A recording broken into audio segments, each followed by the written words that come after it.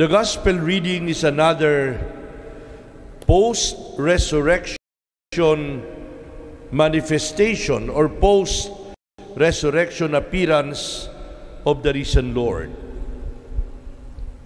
My dear brothers and sisters, we are now on the fifth day of the Easter octave.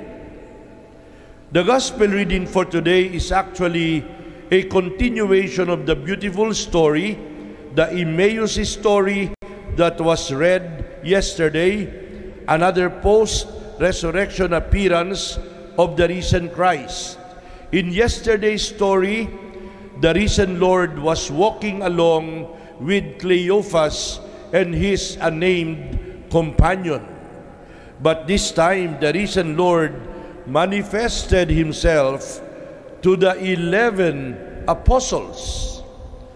Probably some will be wondering, why 11? I thought there are 12. Yes, there were 12. But one of them already betrayed the Master. Our Lord in today's Gospel gives proof of the reality of the resurrection.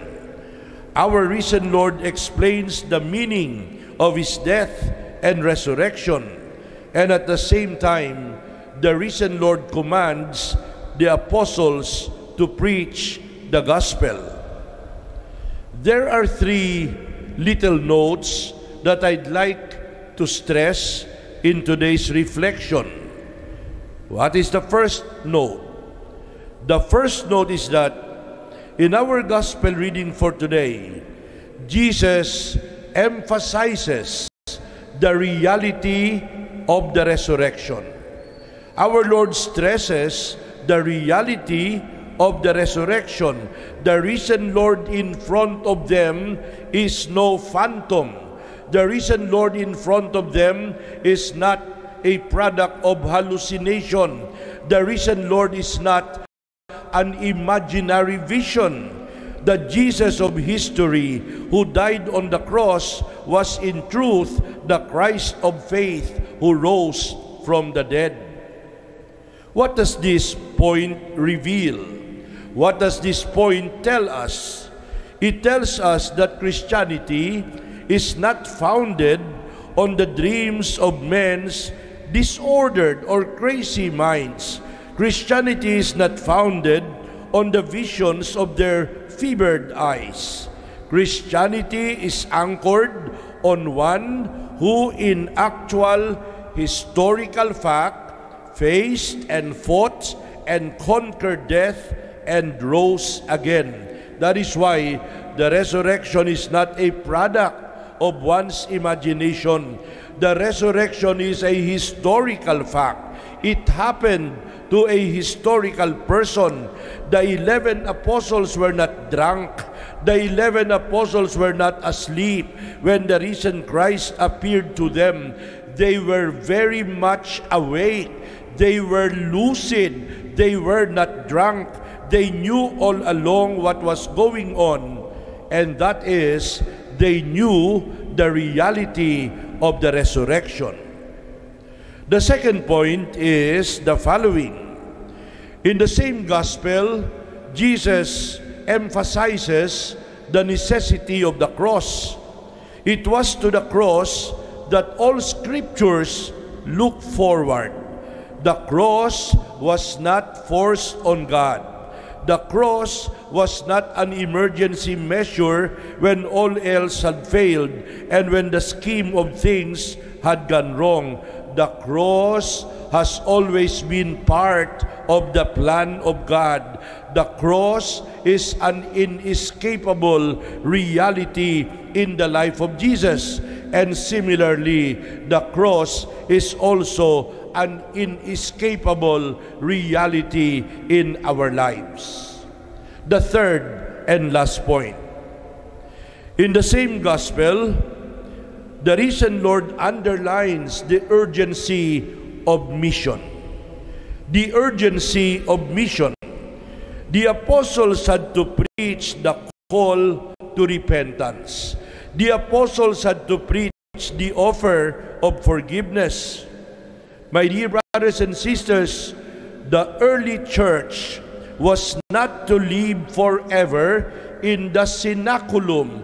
The early church was not to live forever in the upper room. Men were sent out by Jesus to be his apostles. In other words, the church always has a missionary character. It is the nature of the church to be missionary. And all the apostles became missionaries, all of them, except Judas, because Judas chose to be a traitor or a betrayer. All the apostles traveled to different places and nations to preach the good news. My dear brothers and sisters, finally, this particular post-resurrection appearance of the risen Lord also underscores the fact that He really rose from the dead. He really rose from the dead. Our Lord was forced to present convincing proofs to the eleven that He is not a ghost. He is not a ghost. When He said, Look at my hands, look at my feet. I have hands and I have feet, and you touch them. I am not a ghost. And they even gave him some breakfast, and our Lord was able to eat. Ghosts do not eat. Ghosts do not eat. But the apostles gave him something to eat, and our Lord ate with the apostles. And interestingly, during the time of the apostles, during the time of Jesus, the apostles believed in the existence of ghosts. That is why our Lord was telling them, Hey, I am not a ghost. They thought that the risen Christ was a ghost. That is why they exhibited initial incredulity when they saw the risen Christ in front of them for the first time. And my dear brothers and sisters, the resurrection is not a myth. It is not a man-made story. It is not a myth concocted by those who were perhaps disappointed with him. Belief in the resurrection is a matter of faith, and to believe in the resurrection is to accept the testimony of a large group of witnesses who personally saw the risen Christ in their midst. Amen.